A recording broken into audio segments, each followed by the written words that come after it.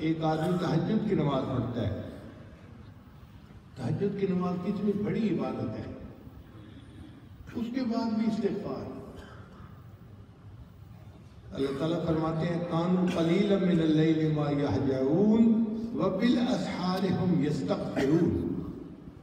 कि वो मेरे बंदे जो रातों को इबादत करते थे सहरी के वक्त वो भी इस्तेफार किया करते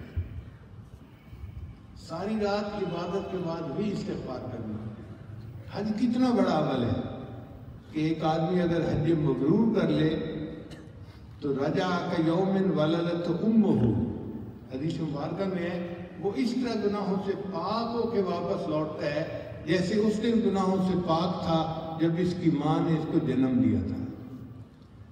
इतना अजीम अमल, और हज के बाद भी इसका पाक दिखाया गया। ताला फरमाते हैं कि जब तुम अरफात से वापस आओ तो तुम इस्तफार करो।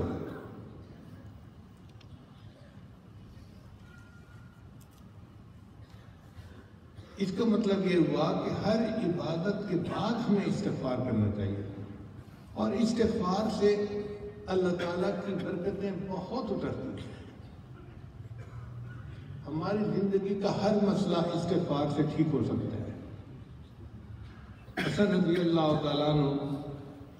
तशीफ फरमाते, एक बंदा आया, हज़रत गुनाह बहुत ज़्यादा हो गए हैं, कोई अमल बताएँ। फरमाया इस्तफार करो।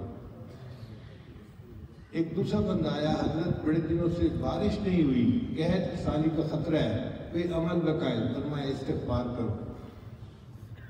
एक बंदा आया हज़रत बहुत गरीब हूँ कोई अमल बताए, अल्लाह मुझे माल दे दे, और मैं इस्तेफार करो।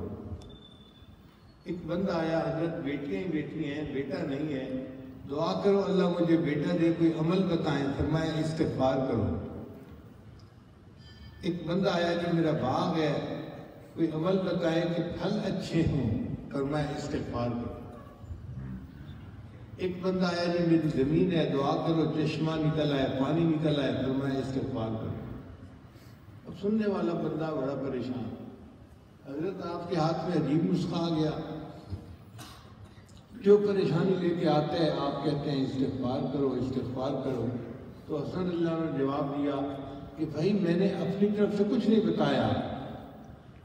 ये इलाज तो अल्लाह ने कुरान मजीद में बताया है। पहले बंदे ने गुनाह की माफ़ी मांगी थी तो देखो अल्लाह फरमाते हैं कि वो बख्शने वाला है। फिर युरसमा अल्लाह बारिशें बरसाता है। अम्बाल और अल्लाह माल के ज़रिए से मदद करेगा तुम्हारी। वह बनी और बेटों के ज़रिए से मदद करेगा। यज जन्नात। और अल्लाह ताला तुम्हारे लिए बागों की फल अता फरमाएगा। यज अनहारा। और अल्लाह ताला तुम्हारे लिए चश्मों का पानी जारी करेगा तो कुरान मजीद से इसकी सबूत मिलता है कि इस्तेफार करने से ये सारे इनाम बंदे को मिल जाते हैं। अब आप गौर करें, हमारी जितनी भी परेशानी है ना, वो इन्हीं में से होती है। कोई औरत बेटा ना होने की वजह से परेशान है कोई आदमी अपने रिस्क की गुर्बत की वजह से परेशान है, तनख्वाह की कमी की वजह से परेशान है, इन सब का इलाज इस्तेफार करने में।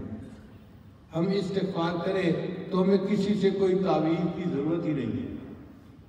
इस्तेफार हमारी तमाम परेशानियों का हल बन जाएगा।